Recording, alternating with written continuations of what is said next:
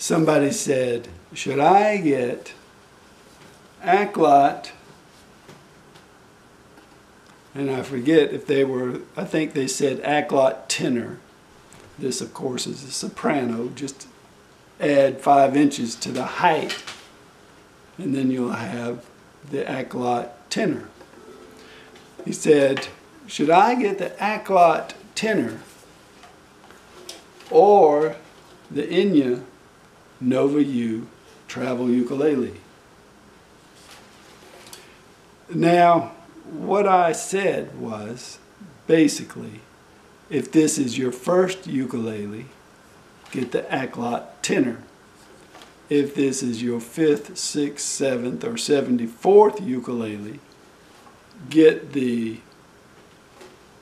Enya travel ukulele. Then the reason I said that, I guess the main reason I said that, is because this ukulele, it's, it's hard to know where the frets are, for one thing. That is the very most essential reason I would say that. There are no side fret markers here, and you can't even hardly see the frets. Now, maybe young people pick those out easily, but this is what you would expect. So it just seems to me that if somebody is starting out with ukulele, their first several anyway, should probably look something like this rather than this. And that's a, another reason why I don't really recommend the Kmise Tiger Flame as a first ukulele because it's it's got fancy stuff on it. It's got a guitar style headstock. It's just a little strange. Get something that looks like a ukulele. You don't have to question it. You don't have to explain it. You don't have to do anything except play it and learn how to play. Keep your focus on that. But then, this one is a marvelous and wonderful ukulele. So, there. If uh, you want to know which one to get, that is my opinion.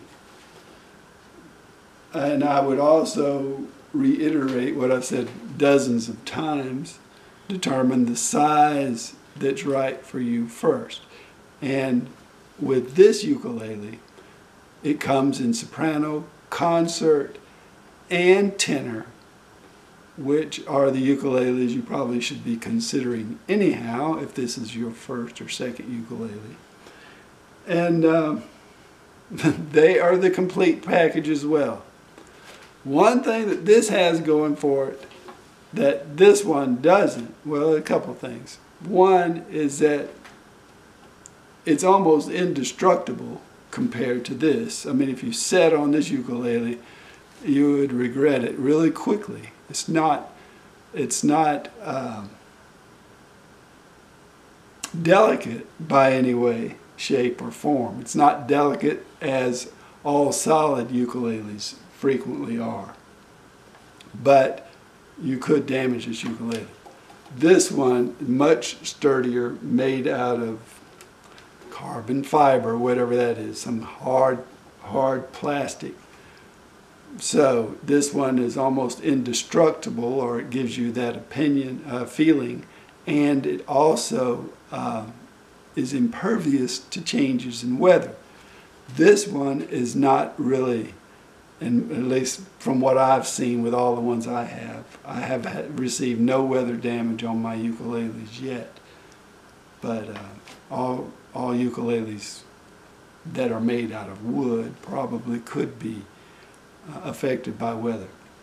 So, other thing, this one will sound, at least in my opinion, better than the Aklot tenor because of the strings that are on it Stay on power, please. Maybe that was uh, heaven telling me that I just told a lie. I don't know. But uh, I this sounds really, really good.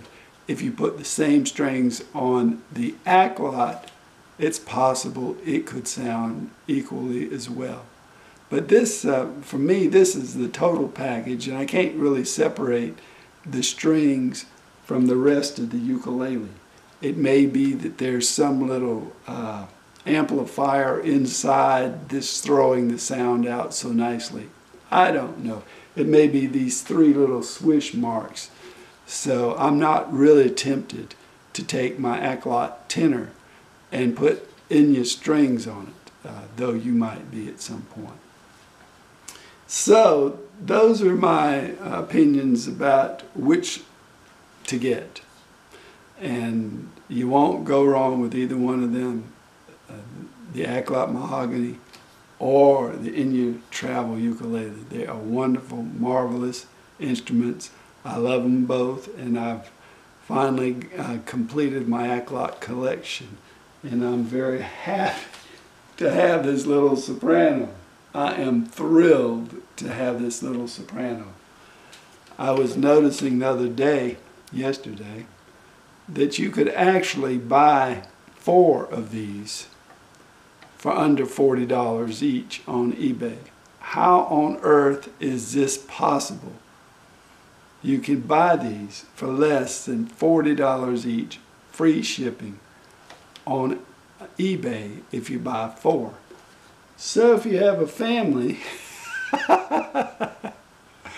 and you want to get into ukulele the right way, that would be a good way to start, I think. Merry Christmas. It's coming up, you know.